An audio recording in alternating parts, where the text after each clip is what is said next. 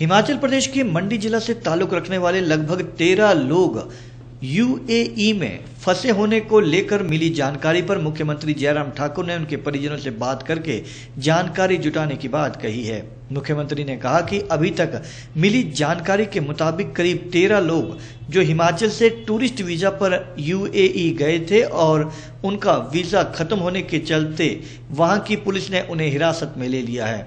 जिसके चलते उनका वहाँ रहना अनधिकृत पाया गया था। उन्होंने कहा कि हिमाचल सरकार मामले को लेकर पुख्ता जानकारी जुटा रही है।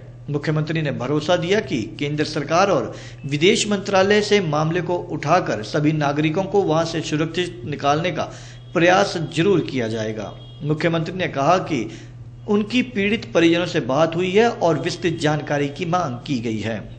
केंद्र से बात से आप हाँ निश्चित रूप से आज ही मुझे सूचना मिली है कि हिमाचल प्रदेश के एग्जैक्ट उसको फिगर हमारे पास अभी तक नहीं आई थी।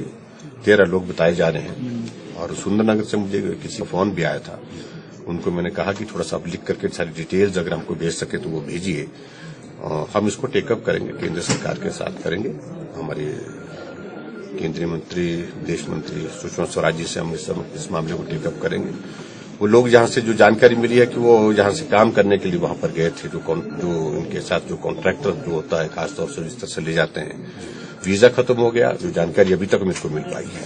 और वीज़ा खत्म होने के बाद जो है वो वहाँ अधिकृत रूप से वहाँ नहीं रह सकते थे और इसलिए पुलिस ने उनको गिरफ़्तार किया है। ऐसा उनका सुरक्षित है ऐसी जानकारी मिली है। जो एक परिवार के किसी के साथ जो हमारी बात हुई उन्होंने कहा कि हमको ये कम्युनिकेशन आया है। तो बाकी डिटेल्स इस पर सारी चीज़ें हम इन्वेस्टिगेशन के बाद पता करेंगे और उसके बाद जो उनको भारत में लाने के लिए, सुरक्षित लाने के लिए जो भी कदम उठाने की आवश्यकता होगी, उठाएँगे।